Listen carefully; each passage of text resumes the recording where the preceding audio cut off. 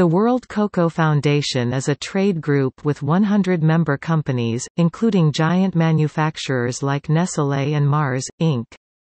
The World Cocoa Foundation represents 80% of the global corporate market. Governmental and educational partnerships include the United States Department of Agriculture, and the University of Florida.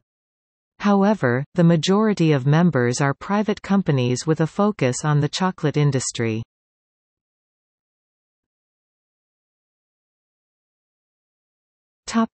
CocoaAction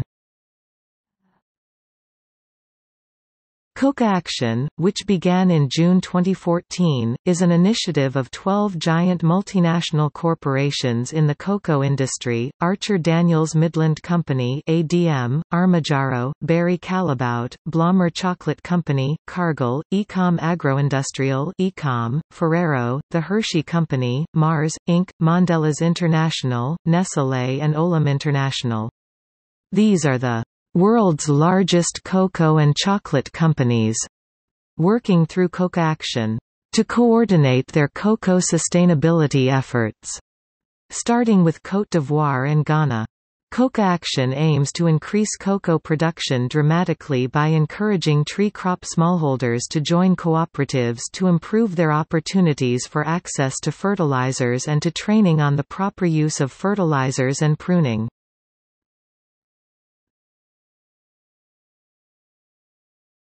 Topic: Ivory Coast. The world cocoa industry has invested millions of dollars in an attempt to reach their goal of doubling Côte d'Ivoire's cocoa production. Côte d'Ivoire depends on its cocoa industry as a major part of its exports. According to the cocoa industry, the small acreage, low technology, low yield, no fertilizer, family cocoa farms could potentially double their production if modern methods were used.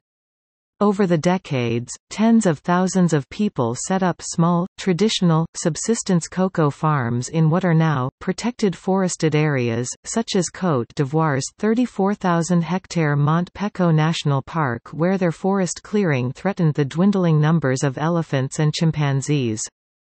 The World Cocoa Foundation's president, Richard Scobey argues that higher-yield cocoa plantations would take the pressure off the kind of expansion into protected forest areas that we've seen. The United Nations warns of a humanitarian crisis as the 51,000 people removed from the park, who have lost their livelihood, are now facing food shortages.